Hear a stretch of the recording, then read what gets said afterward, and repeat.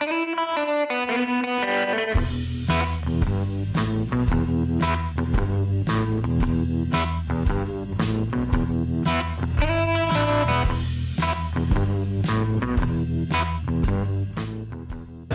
Hello, this is Brian Casey of the Imaging Wire. We are here at RSNA 2025 and we are here in the booth of Kailo Medical. And we have with us Bernard Duscher. He is a co founder of Kailo Medical and also Dr. Reuben Schmidt. Uh, he is clinical director of AI for the company. Gentlemen, thank you both for being with us. Thank you, Brian. Thanks for having us. Yeah, thanks, Brian. Great to be here. So, um, Bernard, can you tell us a little bit about Kailo Medical? I think our viewers are pretty familiar with what you guys do, but just give me give us maybe an overview of the company. Yeah, sure, would love to. Thank you. So, Kailo Medical, we're 14 years old this year, and uh, you know we develop three key products: Kailo Hub, which is our messaging engine, HL7, DICOM, FHIR, etc., and also Kailo Flow, so structured reporting, being able to take data from various systems and build out a structured report. And then, of course, Kailo Air, which is our latest addition, as I stand here with Dr. Reuben Schmidt. The ability to take a report from a radiologist and sort of shape it in any which way that's possible. So, uh, Reuben, can you tell us a little bit about Kailo Air and the company that was acquired and what you were doing there, and then maybe how you've you've turned that into Kailo Air, the product that's being launched here at RSNA? Yep. So basically, uh, the concept behind Air came out of two experiences I had during residency. I'm now a senior radiology resident uh, in Ballarat, Victoria, Australia. The first was uh, I was producing reports which occasionally had uh, speech recognition errors. You wouldn't believe it, but they do happen. Um, and I was producing a few reports like that. So I was testing with early uh, LLMs to determine whether they could improve our reports by detecting common speech recognition errors. So I found that they were capable of that in 2022 uh, uh, and early 2023. I was exploring that. Uh, subsequently, I started work for a group that employs typists for dictation. And they also use PowerScribe 360. So there were two paradigms at play. They, they wanted ideally to get the radiologists who are using typists to use VR. Uh, but there was some difficulty in adjusting to that new VR system.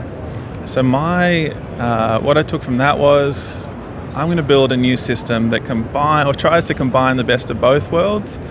Um, and incorporates that speech uh, recognition error detection concept in order to provide um, error-free reports that satisfy both paradigms. So the, the typist paradigm and the um, instant voice recognition paradigm. So that's how it all sort of began. I was working on the software for a year or so, incorporated a company behind it. Um, I was then introduced to the, the Kailo guys through a, a mutual connection, uh, and the guys really liked what I was doing.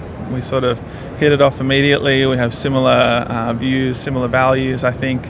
And so they ended up acquiring the company, uh, which we've incorporated the tech behind uh, into the, the, latest product, which is called Kailo Air. Okay, and what does Kailo Air do? Uh, it's basically a, a, new VR software that um, takes free dictation or structured text, whichever you prefer, and produces a um, complete formatted report. It's got impression generation built in, it's got the error detection module, which I'm really proud of. Um, as well as a bunch of other features, and it integrates natively with the rest of the Kailo stack. So it's got uh, uh, SonarReview Kailo Flow integration built in and very smoothly integrated. Very good. And, and uh, do you have FDA clearance? Are you uh, marketing this right now in the US? Uh, we're approaching the point where we begin those discussions, is what I would say. So we're uh, early pilot users in Australia, really positive response um, in early commercial discussions with those groups to get things rolling. All right, very good. Bernard, what else can we look forward to from Kailo in addition to seeing Kailo Air get rolled out more broadly?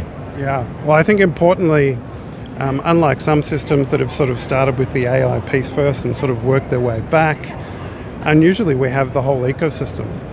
And so being able to capture the information up front and basically build Reuben's product into the entire ecosystem we're able to capture all of the data points along the way. So not just you know radiologist voice input, but we can take clinical notes, dose reporting information. We can hook it into our Kailo Flow product.